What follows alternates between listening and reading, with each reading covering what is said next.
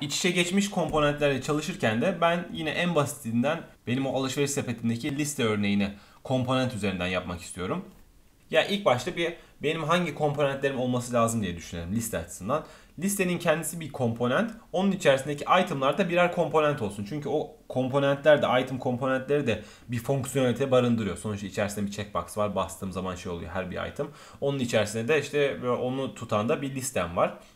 Bu liste ondan sonra işte bir web uygulamasında farklı farklı noktalarda ben uygulamanın farklı farklı noktalarında kullanabilirim diye düşünüyorum.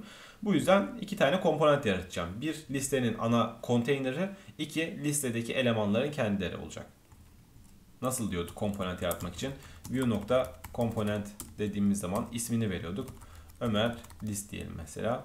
Ondan sonra da ikinci argüman olarak da objemizi yolluyoruz. Objemizde ilk yapmamız gereken şey ne? Template'imizi belirliyoruz. Template'imizi şöyle ECMAScript altı kullandığımız için ters tırnak işaretiyle gösterelim. Liste yapacağımız için şöyle unordered list dersem bunu yapıyor. O unordered listin içerisinde ne olacak peki? O unordered listin içerisinde de ayrı bir tane daha komponent olacak. Daha onu tam doldurmaya başlamadan önce aslında bir taraftan da onu oluşturalım. Bir tane daha komponentim olacak. Ömer list item diyelim mesela buna da. Peki bunun template'i ne olacak? Bunun template'i de böyle bir list item olacak. Yani sadece bunlar için bu kadar emeğe gerek var mı diyebilirsiniz. Yani gerçekten bu kadar kısa belki örneklerde gerek olmuyor ama hani ciddi bir uygulama yapıyor olduğumuz zaman tabii ki böyle işte komponentlerle çalışmak, sonra tekrar kullanılabilir, duruma göre fonksiyonelitesi değişebilecek komponentlerle çalışmak çok ciddi bir kolaylık sağlıyor. Tekrar liste komponentime dönecek olursam bunun içerisinde ben böyle işte item için list ömer item diye bir şey geliyor olacak. Peki bunun datası nereden gelecek? Listeye yukarıdan bodoslama iniyor da olabilir. Ama şu anda mesela listenin kendisinde data barınıyor olduğunu düşünelim. O zaman ne yapıyoruz? Data fonksiyonunu açıyoruz. Data fonksiyonu bir obje dönüyor. Bu objenin içerisinde de mesela benim itemlarım var. Array olarak var. Bu itemları da mesela liste açısından baktığımız zaman o en son videoda nasıl yapmıştık? Bir name vermiştik. Elma diye işte ondan sonra da completed diye mesela işte false veya true diye hani şey oluyordu. İlk etapta false oluyordu bunlar. Elma, armut, kiraz diyelim mesela. Tamam bunlar peki böyle yukarıdan inme bir şekilde geliyor olacak. Geldiği zaman burada 3 tane item varsa 3 tane de o zaman list item komponentim olsun istiyorum. Bunu nasıl yaparım? Önceden gördüğüm işte v4 direktifini kullanarak yapabilirim mesela. Item in items dersem bu çalışıyor olur. Peki bunun o zaman içerisine mesela adını koymak istiyorum diye. O zaman item nokta name dersem de bunun da çalışıyor olması lazım herhalde. Ama şöyle bir şey var. Bunun çalışması için yani burada aslında şu komponentin işlevlerini ben burada yapıyorum. Yoksa yani burada her şeyi belirtirsem o zaman zaten iç içe komponent yapmış olmanın pek bir mantığı kalmıyor. O zaman ben buraya yani bundan gelen şeyi buraya işte hani Allah vergisi dediğim olay bu zaten. Yukarıdan geldim. Değiş, değişemez bir şey olarak buraya yansıyabilir. Onu da mesela ne ne özelliği olarak gelebilir? İşte name özelliği olarak gelsin mesela. item nokta name gelsin diyorum. Completed özelliği olarak da item nokta completed gelsin istiyorum. Bu şekilde gelsin. Ondan sonra da ben de mesela şu anda completed ile ilgilenmeyeyim ama en azından name kısmını burada çünkü bu komponentin içerisinde name olarak aldım. Burada da göreyim istiyorum. Bunları böyle söyledikten sonra da ana komponentimiz olan Ömer listede o zaman tabii ki app'in içerisine almamız lazım. Bakalım çalışacak mı? Ömer list komponentim var. Ömer list komponentin içerisinde list itemlarım da var. Ama nedense şey olmuyor. Yani aslında view'nun içerisine geldi. Komponent olarak da geldi. Şurada mesela 3 tane array'im, e, item üzerinden array'im olduğunu görüyorum. Ama sayfaya bakalım şöyle bir. Unordered listim de var name var. Item.name e, completed de item.completed olarak görünüyor. Burada neyi yanlış yaptık? Daha doğrusu neyi eksik yaptık? Biz buraya name attribute ve e, completed attribute'larını girdik ama view'ye bunu bağlayacağımızı söylemedik. Onu işte daha önceden nasıl yapmıştık? vbind demiştik. vbind üzerinden. O zaman işte attribute'ları içerideki belli değişkenlere bağlayabiliyorduk. Bu şekilde yaparsak artık diyoruz ki biz view'ye bak kardeşim sana Allah vergisi ben bir özellikler veriyorum. Tamam o zaman eğer ben böyle bir özellik veriyorsam bunu da nerede diğer alt komponentte de props olarak belirtiyor olmam lazım. O zaman burada da diyorum ki bak sana yukarıdan şu şu şu değerler gelecek. Ona göre kendini hazırla demiş oluyorum. Bunu ben söyledikten sonra props olarak buraya belirtiyor olduğum şeyleri props olarak olsun, data olarak olsun template'imin içerisinde kullanabiliyordum.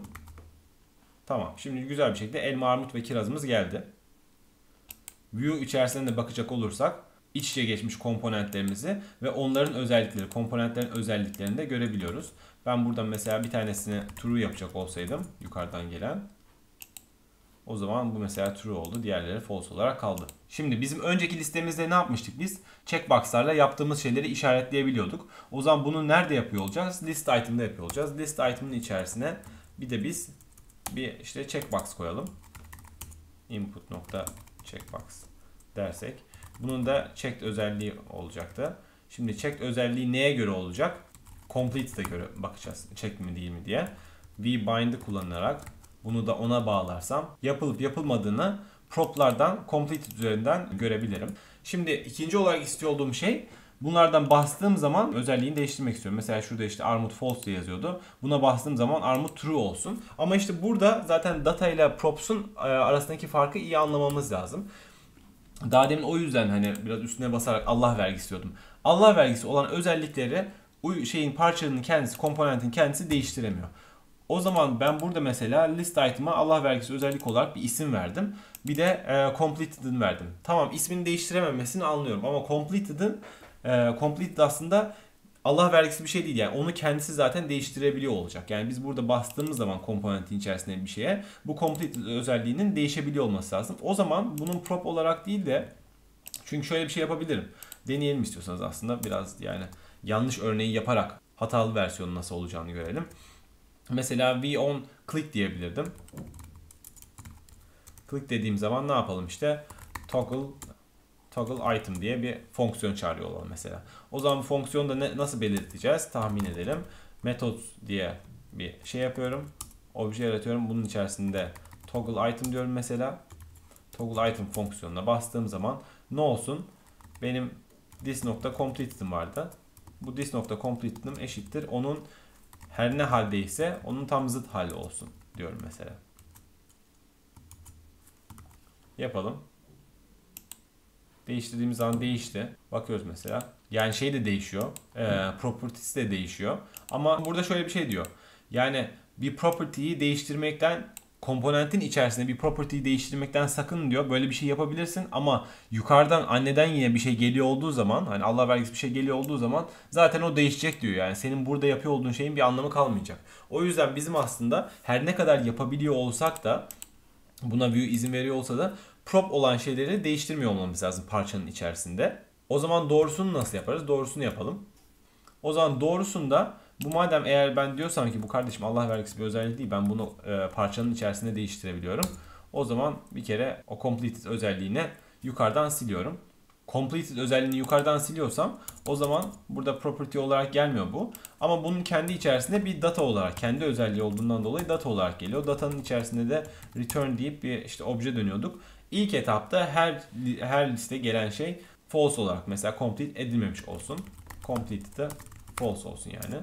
Şimdi işte değiştirirsem completed'ı bu datasından gelen bir şey olduğundan dolayı şuradaki özellikle şu e, virgülleri de unutmayın. Şimdi işte değiştirirsem completed'ı buradaki completed artık kendi datasından gelen bir completed olduğu için buna kızmayacaktır. Kendi içsel datasını değiştiriyor olacak çünkü. Ve aynı özellik yapılıyor olacak ama hani bize konsolda bir hata vermiyor olacak mesela.